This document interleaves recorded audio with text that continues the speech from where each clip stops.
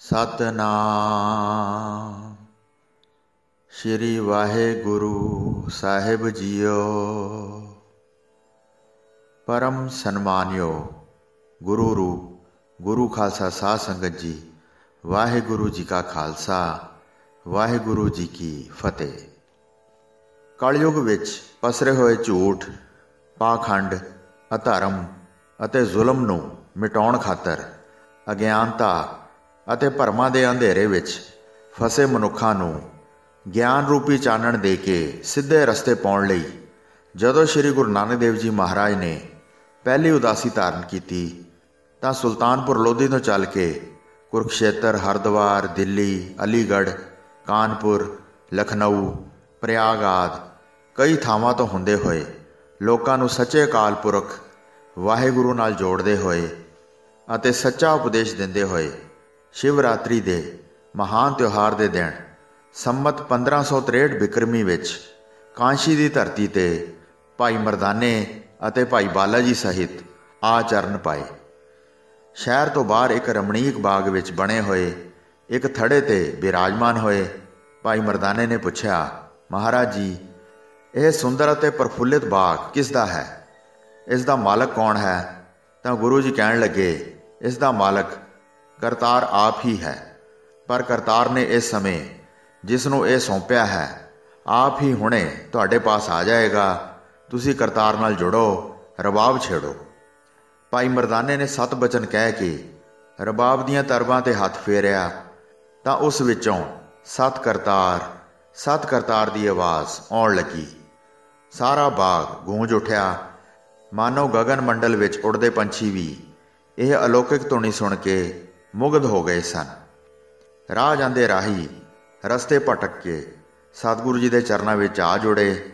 ਸਤਨਾਮ ਦੇ ਪ੍ਰੇਮ ਪਿਆਲੇ ਪੀ ਪੀ ਮਤਵਾਲੇ ਹੋ ਹੋ ਜਾਣ ਲੱਗੇ।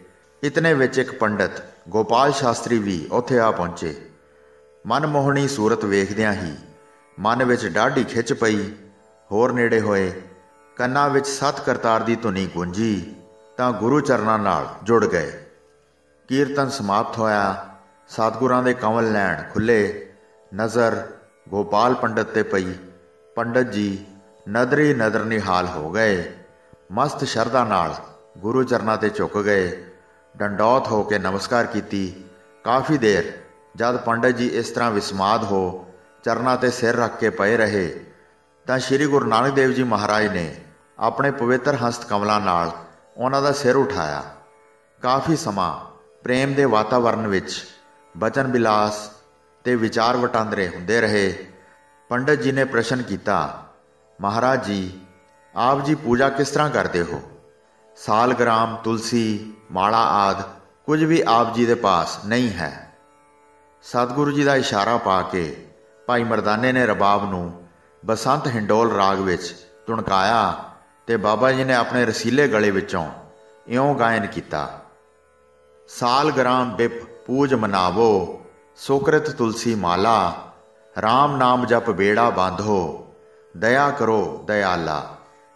ਪੰਡਤ ਜੀ, ਤੁਹਾਡਾ ਸਾਲਗ੍ਰਾਮ ਦਾ ਪੂਜਣਾ ਅਤੇ ਤੁਲਸੀ ਦੀ ਮਾਲਾ ਦਾ ਪਹਿਨਣਾ ਆਦ, ਕਲਰ ਵਾਲੀ ਪੈਲੀ ਨੂੰ ਸਿੰਜਣ ਜਾਂ ਕੱਚੀ ਢਹਿ ਰਹੀ ਕੰਧ ਪਰ ਚੂਨਾ ਥੱਪਣ ਨਿਆਈ ਹੈ। ਐਸਾ ਕਰਕੇ ਜਨਮ ਕਿਉਂ ਗਵਾ ਰਹੇ ਹੋ? ਜੇ ਸੰਸਾਰ ਸਾਗਰ ਤੋਂ ਪਾਰ ਹੋਣਾ ਚਾਹੁੰਦੇ ਹੋ, ਤਾਂ ਸੁਚੱਜੀ ਕਿਰਤ ਅਤੇ RAM ਨਾਮ ਦੇ ਸਿਮਰਨ ਦਾ ਬੇੜਾ ਬੰਨੋ, ਉਸ ਰਾਹੀਂ ਤੁਸੀਂ ਭਵ ਸਾਗਰ ਤੋਂ ਪਾਰ ਹੋ ਸਕੋਗੇ। ਪੰਡਤ ਜੀ ਨੇ ਸ਼ੰਕਾ ਕੀਤੀ ਤੇ ਕਿਹਾ, ਮਹਾਰਾਜ ਜੀ, ਜੇ ਸਾਡੇ ਸਾਲਗ੍ਰਾਮ ਅਤੇ ਤੁਲਸੀ ਮਾਲਾ ਕਲਰਾ ਸਿੰਜਣ ਤੁਲ ਹਨ, ਤਾਂ ਤੁਹਾਡੇ ਖਿਆਲ ਵਿੱਚ ਸਫਲ ਸਿੰਚਣ ਕਿਹੜਾ ਹੈ?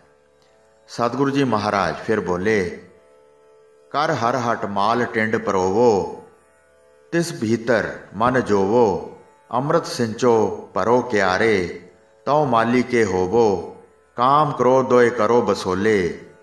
ਗੋਡੋ ਧਰਤੀ ਭਾਈ, ਜਿਉ ਗੋਡਾ ਤਿਉ ਤੁਮ ਸੁਖ ਪਾਵੈ, ਕਿਰਤ ਨਾ ਮੇਟਿਆ ਜਾਈ। ਪੰਡਤ ਜੀ, ਸਫਲ ਸਿੰਚਣ ਤਾਂ ਸੁਚੱਜੀ ਕਰਨੀ ਵਿੱਚ ਹੈ। ਹਰ ਕਥਾ ਦਾ ਹਲਟ, ਮਾਲ ਤੇ ਟਿੰਡਾ ਬਣਾਓ। ਇਹ ਹਲਟ ਨੂੰ ਚਲਾਉਣ ਲਈ ਆਪਣਾ ਮਨ ਜੋਵੋ, ਅਰਥਾਤ ਤੁਹਾਡੇ ਮਨ ਅੰਦਰ ਆਪਣੇ ਹੱਥੀ ਨੇਕ ਕਰਨੀ ਕਰਨ ਦਾ ਉਮਾ ਹੋਵੇ, ਅਜਿਹੇ ਉਮਾ ਵਿੱਚੋਂ ਇੱਕ ਖੇੜਾ ਤਥਾ ਰਸ ਉਪਜੇਗਾ। ਉਸ ਰਸ ਰੂਪੀ ਅੰਮ੍ਰਿਤ ਨਾਲ ਜੋ ਤੁਹਾਡਾ ਅੰਤःਕਰਨ ਭਰਪੂਰ ਹੋ ਜਾਵੇ, ਤਾਂ ਫਿਰ ਐਸੇ ਅੰਤःਕਰਨ ਦੀ ਸੰਭਾਲ ਕਰਨ ਵਾਲਾ ਸਾਈਂ ਦਿਲਾਂ ਦਾ ਮਾਲਕ ਤੁਹਾਨੂੰ ਆਪਣਾ ਬਣਾ ਲਵੇਗਾ। ਜਦੋਂ ਤੁਸੀਂ ਮਾਲਕ ਦੇ ਹੋ ਗਏ, ਤਾਂ ਕਾਮ ਕ੍ਰੋਧ ਆਦਿਕ ਜੋ ਤੁਹਾਡੇ ਅੰਮ੍ਰਿਤ ਨੂੰ ਲੁੱਟ ਲੈ ਜਾਂਦੇ ਹਨ, ਤੁਹਾਡੇ ਗੋਲੇ ਹੋ ਕੇ ਰਹਿਣਗੇ। ਸਗੋਂ ਜਿਵੇਂ ਖੁਰਪਿਆਂ ਨਾਲ ਧਰਤੀ ਗੋੜ ਕੇ ਪਹਿਲੀ ਵਿੱਚੋਂ ਘਾਸ ਫੂਸ ਤੇ ਵਾਧੂ ਬੂਟੀਆਂ ਪੁੱਟ ਦਿੱਤੀਆਂ ਜਾਂਦੀਆਂ ਹਨ, ਆਪਣੇ ਉਗਾਏ ਫਸਲ ਦੀ ਸੰਭਾਲ ਕੀਤੀ ਜਾਂਦੀ ਹੈ। ਐਵੇਂ ਹੀ ਤੁਹਾਡੇ ਅੰਦਰ ਦਾ ਕਾਮ, ਖੁਆਇਸ਼ਾਂ, ਅੰਮ੍ਰਿਤ ਰੂਪੀ ਫਸਲ ਦੀ ਸੰਭਾਲ ਅਤੇ ਕ੍ਰੋਧ ਰੂਪੀ ਜੜੀ ਬੂਟੀਆਂ, ਮੰਦੀਆਂ ਵਾਸ਼ਨਾਵਾਂ ਦੇ ਨਾਸ਼ ਕਰਨ ਵੱਲ ਲੱਗ ਜਾਣਗੇ। ਇਸ ਤਰ੍ਹਾਂ ਕਾਮ, ਕ੍ਰੋਧ ਆਦ ਦੁਸ਼ਟ ਸ਼ਕਤੀਆਂ ਵੀ ਤੁਹਾਡੀ ਸੇਵਾ ਵਿੱਚ ਲੱਗ ਜਾਣਗੀਆਂ। ਜਦੋਂ ਤੁਸੀਂ ਆਪਣੇ ਅੰਤਰਾਤਮੇ ਐਸੀ ਗੁੜਾਈ ਕਰੋਗੇ, ਤਾਂ ਤੁਸੀਂ ਸੁਖ ਪਾਓਗੇ ਅਤੇ ਤੁਹਾਡੀ ਇਸ ਪ੍ਰਕਾਰ ਦੀ ਕੀਤੀ ਕਿਰਤ ਕਦੀ ਵੀ ਅਜਾਈ ਨਹੀਂ ਜਾਏਗੀ। ਪੰਡਤ ਜੀ ਦੀ ਤਸੱਲੀ ਹੋ ਗਈ, ਬਹੁਤ ਪ੍ਰਭਾਵਿਤ ਹੋਏ, ਤਾਂ ਗੁਰੂ ਜੀ ਨੇ ਇਸ ਸ਼ਬਦ ਦੀਆਂ ਆਖਰੀ ਪੰਕਤੀਆਂ ਉਚਾਰੀਆਂ। ਬਗਲੇ ਤੇ ਫੁਨ ਹੰਸਲਾ ਹੋਵੇ, ਜੇ ਤੂੰ ਕਰੇ ਦਿਆਲਾ, ਪ੍ਰਣਵਤ ਨਾਨਕ ਦਾਸਨ ਦਾਸਾ, ਦਇਆ ਕਰੋ ਦਿਆਲਾ। ਇਸ ਤਰ੍ਹਾਂ ਬਗਲੇ, ਨੀਚ ਮਨੁੱਖ ਵੀ ਹੰਸ ਉੱਤਮ ਪੁਰਸ਼ ਬਣ ਜਾਂਦੇ ਹਨ। ਪਰ हे ਪ੍ਰਭੂ, ਇਹ ਤਾਂ ਹੀ ਸੰਭਵ ਹੋ ਸਕਦਾ ਹੈ ਜੇ ਤੂੰ ਦਇਆ ਕਰੇ। ਮੇਰੀ ਦਾਸਾਂ ਦੇ ਦਾਸ, ਨਾਨਕ ਦੀ ਤਾਂ ਇਹੋ ਬੇਨਤੀ ਹੈ ਕਿ हे ਮਿਹਰਬਾਨ ਪ੍ਰਭੂ, ਅਸਾਂ ਜੀਵਾਂ ਉੱਤੇ ਵੀ ਤੂੰ ਦਇਆ ਦ੍ਰਿਸ਼ਟੀ ਰੱਖ। ਇਹ ਸੁਣ ਕੇ ਪੰਡਤ ਜੀ ਗਦਗਦ ਹੋ ਗਏ, ਅਗਿਆਨ ਦਾ ਅੰਧੇਰਾ ਦੂਰ ਹੋ ਗਿਆ, ਆਤਮਾ ਨਿਰਮਲ ਹੋ ਗਈ। ਸਤਿਗੁਰੂ ਜੀ ਦੇ ਪੂਰਨ ਸ਼ਰਧਾਲੂ ਅਤੇ ਅਨਨ ਸੇਵਕ ਬਣ ਗਏ। ਪ੍ਰਸੰਨ ਚਿਤ ਹੋ ਕੇ ਬੇਨਤੀ ਕੀਤੀ हे ਜਗਤ ਉਧਾਰ ਪਿਤਾ ਜੀ ਆਪ ਨੇ ਬੜੀ ਕਿਰਪਾਲਤਾ ਕੀਤੀ ਹੈ। ਇਸ ਕਾਂਸ਼ੀ ਨੂੰ ਭਾਗ ਲਏ ਹਨ ਅਤੇ ਦਾਸ ਨੂੰ ਨਿਵਾਜਿਆ ਹੈ। ਆਪ ਜੀ ਕੁਝ ਸਮਾਂ ਇੱਥੇ ਰਹਿ ਕੇ ਕਾਂਸ਼ੀ ਵਾਸੀਆਂ ਨੂੰ ਉਪਦੇਸ਼ ਦੇਣ ਦੀ ਕਿਰਪਾਲਤਾ ਕਰੋ। ਗੁਰੂ ਜੀ ਨੇ ਗੋਪਾਲ ਪੰਡਿਤ ਨੂੰ ਧੀਰਜ ਦਿੰਦੇ ਹੋਏ ਕਿਹਾ, ਕਿ ਹਾਂ ਪੰਡਿਤ ਜੀ, ਅਸੀਂ ਕੁਝ ਸਮਾਂ ਜ਼ਰੂਰ ਇੱਥੇ ਰਹਾਂਗੇ। ਤਾਂ ਗੋਪਾਲ ਪੰਡਿਤ ਮਹਾਰਾਜ ਜੀ ਪਾਸੋਂ ਆਗਿਆ ਲੈ ਕੇ ਘਰ ਚਲਾ ਗਿਆ। ਗੋਪਾਲ ਪੰਡਿਤ ਨੇ ਘਰ ਜਾ ਕੇ ਪਰਿਵਾਰ ਨੂੰ ਖੁਸ਼ਖਬਰੀ ਸੁਣਾਈ। ਅੱਜ ਸਾਡੇ ਬਾਗ ਵਿੱਚ ਭਾਗ ਲੱਗੇ ਹਨ। ਇੱਕ ਮਨਮੋਹਣੀ ਸੂਰਤ, ਰੱਬ ਦਾ ਰੂਪ ਮਹਾਪੁਰਸ਼, ਉੱਥੇ ਆ ਬੈਠੇ ਹਨ, ਜਿਨ੍ਹਾਂ ਦੇ ਦਰਸ਼ਨ ਕਰਨ ਨਾਲ ਤਨ ਮਨ ਠੰਡਾ ਹੋ ਜਾਂਦਾ ਹੈ। ਇਹ ਸੁਣ ਕੇ ਦੂਜੇ ਦਿਨ ਘਰ ਦੇ ਸਭ ਪ੍ਰੇਮੀਆਂ ਨੇ ਆ ਕੇ ਦਰਸ਼ਨ ਕੀਤੇ। ਹੋਰ ਵੀ ਬਹੁਤ ਸ਼ਰਧਾਲੂਆਂ ਨੇ ਦਰਸ਼ਨ ਕੀਤੇ। ਕੀਰਤਨ ਅਤੇ ਵਾਹਿਗੁਰੂ ਨਾਲ ਜੁੜਨ ਦੇ ਉਪਦੇਸ਼ ਸਰਵਣ ਕੀਤੇ। ਇਸੇ ਤਰ੍ਹਾਂ ਇਸ ਬਾਗ ਵਿੱਚ ਹਰ ਰੋਜ਼ satsang ਹੁੰਦਾ। ਦੂਰੋਂ ਦੂਰੋਂ ਸੰਗਤਾਂ ਆਉਣ ਲੱਗੀਆਂ। ਜੇ ਕੋਈ ਮਨੋਰਥ ਲੈ ਕੇ ਸਤਿਗੁਰੂ ਜੀ ਦੇ ਚਰਨਾਂ ਵਿੱਚ ਪੁੱਜਦਾ ਸੀ, ਸਤਿਗੁਰੂ ਜੀ ਸਭਨਾਂ ਦੀਆਂ ਇੱਛਾਵਾਂ ਪੂਰਨ ਕਰਦੇ ਸਨ। ਸਾਰੀ ਕਾਂਸ਼ੀ ਵਿੱਚ ਬਾਬਾ ਜੀ ਦੀ ਜੈ ਜੈਕਾਰ ਹੋਣ ਲੱਗ ਪਈ। ਉਸ ਸਮੇਂ ਪੰਡਤ ਚਤੁਰਦਾਸ ਨਾਮ ਦਾ ਇੱਕ ਮਹਾਵਿਦਵਾਨ ਕਾਂਸ਼ੀ ਵਿੱਚ ਰਹਿੰਦਾ ਸੀ। ਜਿਸ ਦੀ ਭਾਰੀ ਮਾਨਤਾ ਸੀ। ਪਰੰਤੂ ਉਸ ਨੂੰ ਹਉਮੈ ਦਾ ਦੀਰਘ ਰੋਗ ਲੱਗਾ ਹੋਇਆ ਸੀ। ਉਹ ਸਮਝਦਾ ਸੀ ਕਿ ਇਸ ਸਮੇਂ ਸੰਸਾਰ ਭਰ ਵਿੱਚ ਉਸ ਵਰਗਾ ਕੋਈ ਵਿਦਵਾਨ ਨਹੀਂ। ਇਸ ਨੇ ਕਈ ਵਿਦਵਾਨਾਂ ਨਾਲ ਸ਼ਸਤਰ ਅਰਥ ਰਾਹੀਂ ਵਿਜੇ ਪ੍ਰਾਪਤ ਕੀਤੀ ਸੀ। ਇਸ ਦੀ ਤਰਕ ਭਰੀ ਦਲੀਲ ਲੱਗੇ ਕੋਈ ਵੀ ਟਿਕ ਨਹੀਂ ਸੀ ਸਕਦਾ। ਉਸ ਨੂੰ ਆਪਣੀ ਵਿਦਵਤਾ ਤੇ ਬਹੁਤ ਮਾਣ ਅਤੇ ਹੰਕਾਰ ਸੀ। ਉਹ ਕਿਸੇ ਦੀ ਸੋਭਾ, ਮਾਣ ਅਤੇ ਪ੍ਰਤਿਸ਼ਠਾ ਵੇਖ ਕੇ ਸਹਾਰ ਨਹੀਂ ਸੀ ਸਕਦਾ। ਅਤੇ ਇਸੇ ਕਮੰਡ ਕਰਕੇ ਉਹ ਹਰ ਕਿਸੇ ਦੀ ਨਿਰਾਦਰੀ ਕਰਿਆ ਕਰਦਾ ਸੀ। ਜਦੋਂ ਉਸਨੇ ਸੁਣਿਆ ਕਿ ਕਾਸ਼ੀ ਵਿੱਚ ਕੋਈ ਐਸੇ ਮਹਾਪੁਰਸ਼ ਆਏ ਹਨ ਜਿਨ੍ਹਾਂ ਦੀ ਸ਼ੋਭਾ, ਖੁਸ਼ਬੂ ਵਾਂਗ ਚਾਰ ਚੁਫੇਰੇ ਖਿਲਰੀ ਹੋਈ ਹੈ ਅਤੇ ਲੋਕਾਂ ਦੀ ਭੀੜ ਉਹਨਾਂ ਪਾਸ ਲੱਗੀ ਰਹਿੰਦੀ ਹੈ, ਸ਼ਰਧਾਲੂ ਉਹਨਾਂ ਦੇ ਦਰਸ਼ਨ ਕਰਕੇ ਅਤੇ ਉਹਨਾਂ ਪਾਸੋਂ ਉਪਦੇਸ਼ ਲੈ ਕੇ ਆਪਣਾ ਜੀਵਨ ਸਵਾਰਦੇ ਹਨ, ਤਾਂ ਪੰਡਤ ਚਤੁਰਦਾਸ ਈਰਖਾ ਦੀ ਅਗਨੀ ਨਾਲ ਜਲ ਉੱਠਿਆ ਕਿ ਐਸਾ ਕੌਣ ਆਇਆ ਹੈ? ਕੁਝ ਹੀ ਦਿਨਾਂ ਵਿੱਚ ਉਸ ਦੀ ਉਸਤਤ ਸਾਰਾ ਸ਼ਹਿਰ ਕਰਨ ਲੱਗ ਪਿਆ ਹੈ ਅਤੇ ਮੇਰਾ ਕੋਈ ਵੀ ਨਾਮ ਨਹੀਂ ਲੈਂਦਾ। ਉਸਨੇ ਆਪਣੀ ਵਿਦਵਤਾ ਦੇ ਆਸਰੇ ਸ੍ਰੀ ਗੁਰੂ ਨਾਨਕ ਦੇਵ ਜੀ ਨੂੰ ਸ਼ਸਤਰ ਅਰਥ ਵਿੱਚ ਉਲਝਾ ਕੇ ਉਹਨਾਂ ਉੱਤੇ ਵਿਜੇ ਪ੍ਰਾਪਤ ਕਰਨ ਦਾ ਪੱਕਾ ਨਿਸ਼ਚੈ ਕੀਤਾ। ਉਸ ਦਾ ਖਿਆਲ ਸੀ ਕਿ ਗੁਰੂ ਜੀ ਉਸ ਦੀ ਵਿਦਵਤਾ ਭਰੇ ਪ੍ਰਸ਼ਨਾਂ ਦੇ ਉੱਤਰ ਨਹੀਂ ਦੇ ਸਕਣਗੇ ਅਤੇ ਲੋਕੀ ਉਹਨਾਂ ਦੀ ਉਪਮਾ ਕਰਨੋਂ ਹਟ ਜਾਣਗੇ। ਫਿਰ ਇਸ ਦੀ ਆਪਣੀ ਮਾਨਤਾ ਕਾਇਮ ਹੋ ਜਾਏਗੀ। ਇਹ ਵਿਚਾਰਾਂ ਕਰਦਾ ਹੋਇਆ ਪੰਡਿਤ ਚਤੁਰਦਾਸ ਆਪਣੇ ਕਈ ਸੰਗੀ ਸਾਥੀਆਂ ਸਹਿਤ ਇੱਕ ਦਿਨ ਗੁਰੂ ਜੀ ਦੇ ਪਾਸ ਪੁੱਜਾ। ਪੰਡਿਤ ਚਤੁਰਦਾਸ ਨੇ ਜਦੋਂ ਗੁਰੂ ਮਹਾਰਾਜ ਜੀ ਦੇ ਤੇ ਜਸਵੀ ਚਿਹਰੇ ਤੇ ਨੂਰ ਡਲਕਾ ਮਾਰਦਾ ਵੇਖਿਆ ਤਾਂ ਉਸ ਦੇ ਹਿਰਦੇ ਤੋਂ ਜਨਮਾਂ ਜਨਮਾਂਤਰਾਂ ਦੀ ਮੈਲ ਉਤਰਨੀ ਸ਼ੁਰੂ ਹੋ ਗਈ। ਗੁਰੂ ਮਹਾਰਾਜ ਜੀ ਦੀ ਇੱਕੋ ਤੱਕਣੀ ਨਾਲ ਹੀ ਉਹ ਆਪਾ ਭੁੱਲ ਗਿਆ, ਮਨ ਸ਼ਾਂਤ ਹੋ ਗਿਆ, ਪਰੰਤੂ ਅਜੇ ਕੁਝ ਕਸਰ ਬਾਕੀ ਸੀ। ਹਉਮੈ ਦਾ ਕੰਡਾ ਅਜੇ ਕੁਝ ਰੜਕਾ ਮਾਰ ਰਿਹਾ ਸੀ। ਸਿਨੇਮਰ ਅਵਸਥਾ ਵਿੱਚ ਕਹਿਣ ਲੱਗਾ ਕਿ ਮਹਾਰਾਜ ਜੀ, ਮੈਂ ਆਪ ਜੀ ਨਾਲ ਕੁਝ ਪ੍ਰਸ਼ਨ ਉੱਤਰ ਕਰਨ ਲਈ ਆਇਆ ਹਾਂ। ਆਗਿਆ ਹੋਵੇ ਤਾਂ ਕੁਝ ਪ੍ਰਸ਼ਨ ਕਰਾਂ। ਗੁਰੂ ਜੀ ਨੇ ਕਿਹਾ, ਪੰਡਤ ਚਤੁਰਦਾਸ ਜੀ, ਤੁਸੀਂ ਜੇਕਰ ਕੁਝ ਪ੍ਰਸ਼ਨ ਉੱਤਰ ਕਰਨੇ ਹੀ ਹਨ ਤਾਂ ਇਸ ਬਾਗ ਦੇ ਅੰਦਰ ਇੱਕ ਕੁੱਤਾ ਹੈ। ਕਿਸੇ ਸਮੇਂ ਉਹ ਵੀ ਇੱਥੇ ਦਾ ਇੱਕ ਭਾਰੀ ਵਿਦਵਾਨ ਪੰਡਤ ਸੀ, ਪਰੰਤੂ ਕਿਸੇ ਕਾਰਨ ਕਰਕੇ ਹੁਣ ਕੁੱਤੇ ਦੀ ਜੂਨ ਭੋਗ ਰਿਹਾ ਹੈ। ਤੁਸੀਂ ਉਸ ਨੂੰ ਇੱਥੇ ਲਿਆਓ, ਤਾਂ ਉਹ ਤੁਹਾਡੇ ਸਾਰੇ ਪ੍ਰਸ਼ਨਾਂ ਦਾ ਉੱਤਰ ਦੇਵੇਗਾ।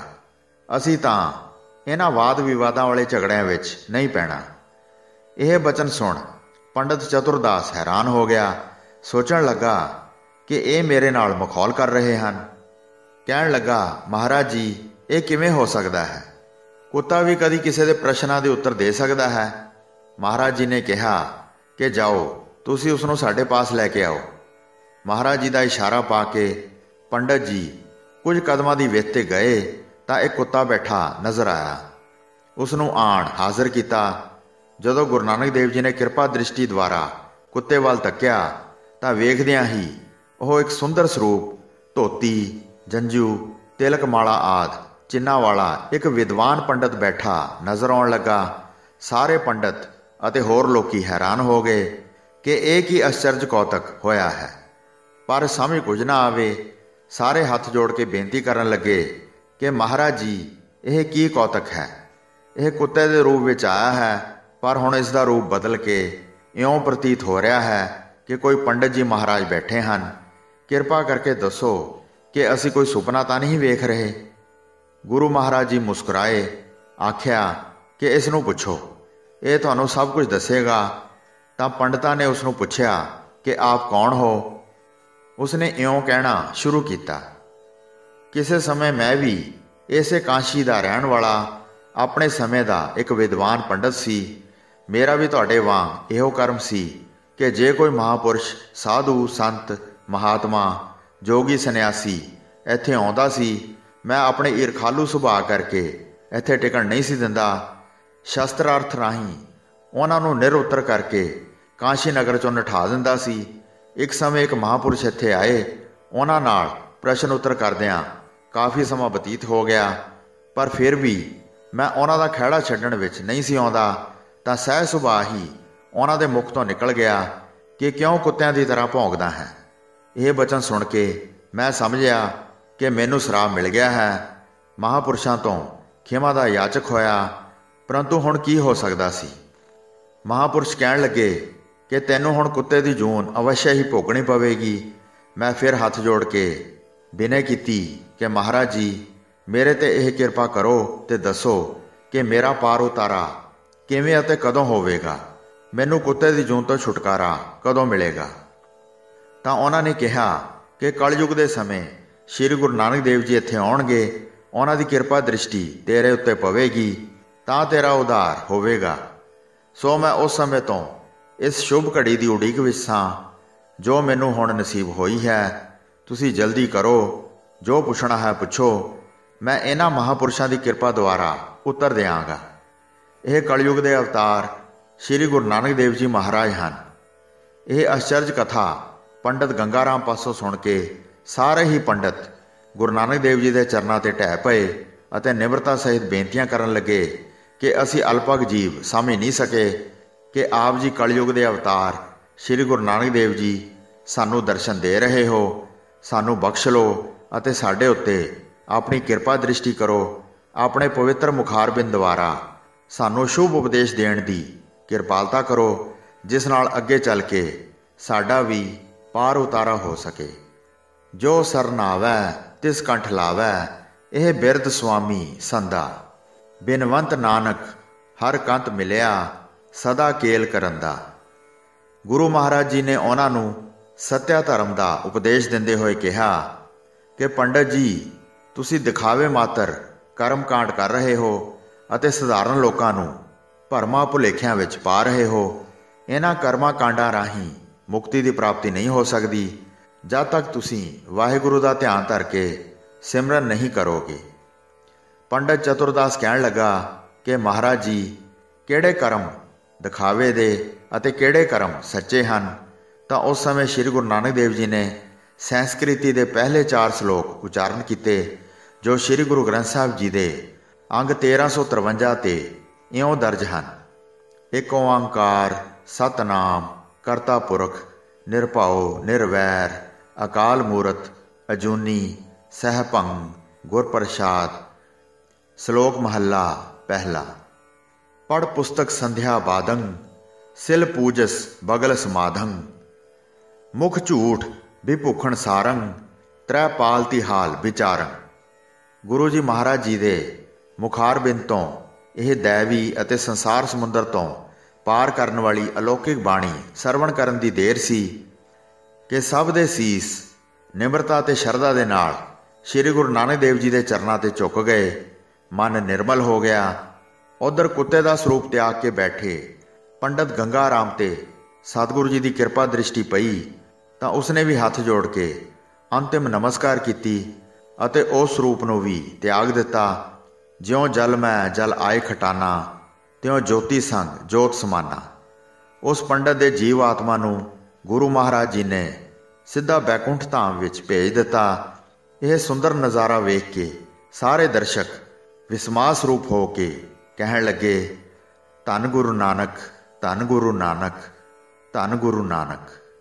ਪੰਡਤ ਗੋਪਾਲ ਸ਼ਾਸਤਰੀ ਨੇ ਹੱਥ ਜੋੜ ਕੇ ਬੇਨਤੀ ਕੀਤੀ, ਮਹਾਰਾਜ ਜੀ, ਆਪ ਜੀ ਦੇ ਚਰਨ ਪੈਣ ਕਰਕੇ ਇਹ ਬਾਗ ਪਵਿੱਤਰ ਹੋ ਗਿਆ ਹੈ। ਹੁਣ ਇਹ ਬਾਗ ਮੇਰਾ ਨਹੀਂ ਰਿਹਾ। ਅੱਜ ਇਹ ਬਾਗ ਮੈਂ ਆਪ ਜੀ ਦੇ ਚਰਨਾਂ ਵਿੱਚ ਭੇਟ ਕਰ ਰਿਹਾ ਹਾਂ ਅਤੇ ਇਹ ਆਪ ਜੀ ਦਾ ਹੈ। ਸੋ ਉਸ ਦਿਨ ਤੋਂ ਇਸ ਦਾ ਨਾਮ ਗੁਰੂ ਬਾਗ ਪ੍ਰਸਿੱਧ ਹੋ ਗਿਆ। ਇਹ ਗੁਰਦੁਆਰਾ ਗੁਰੂ ਬਾਗ ਰੇਲਵੇ ਸਟੇਸ਼ਨ ਤੋਂ 1.5 ਮੀਲ ਤੇ ਮਹੱਲਾ ਕਮੱਛਾ ਵਿੱਚ ਹੈ। ਸਿੱਖ ਰਾਜ ਮਗਰੋਂ ਸਰਦਾਰ ਲਹਿਣਾ ਸਿੰਘ ਬਹਾਦਰ, ਸਰਦਾਰ ਦੇਸਾ ਸਿੰਘ ਦੇ ਸੁਪੁੱਤਰ, ਸਰਦਾਰ ਨੌਦਾ ਸਿੰਘ ਮਜੀਠਾ ਵਾਸੀ ਸ਼ੇਰਗਿੱਲ ਅਤੇ ਰਾਣੀ ਸ਼੍ਰੀ ਕੌਰ ਆਦ ਗੁਰੂ ਪਿਆਰਿਆਂ ਨੇ ਇਸ ਸਥਾਨ ਅਤੇ ਇਸ ਦੇ ਅੰਦਰ ਬਣੇ ਵਿਸ਼ਾਲ ਖੂਹ ਦੀ ਸੇਵਾ ਸੰਭਾਲ ਸਮੇਂ-ਸਮੇਂ ਅਨੁਸਾਰ ਕਰਦੇ ਹੋਏ ਸ੍ਰੀ ਗੁਰੂ ਨਾਨਕ ਪਾਤਸ਼ਾਹ ਦੀਆਂ ਖੁਸ਼ੀਆਂ ਅਤੇ ਬਰਕਤਾਂ ਪ੍ਰਾਪਤ ਕੀਤੀਆਂ। ਖੂਹ ਵਿੱਚ ਲੱਗੀ ਸਿੱਲ ਮਜੀਠਾ ਖਾਨਦਾਨ ਵੱਲੋਂ ਕੀਤੀ ਸੇਵਾ ਦੀ ਇਹ ਅਟਲ ਯਾਦਗਾਰ ਹੈ ਜੋ ਆਉਂਦੀਆਂ ਪੀੜ੍ਹੀਆਂ ਨੂੰ ਸਦਾ ਹੀ ਪ੍ਰੇਰਣਾ ਦੇ ਰਹੀ ਹੈ ਅਤੇ ਦਿੰਦੀ ਰਹੇਗੀ। ਹੋਈਆਂ ਭੁੱਲਾਂ ਚੁੱਕਾਂ ਦੀ ਖਿਮਾ ਬਖਸ਼ਣੀ ਜੀ। ਦਾਸ ਨੂੰ ਆਗਿਆ ਦਿਓ। ਵਾਹਿਗੁਰੂ ਜੀ ਕਾ ਖਾਲਸਾ, ਵਾਹਿਗੁਰੂ ਜੀ ਕੀ ਫਤਿਹ।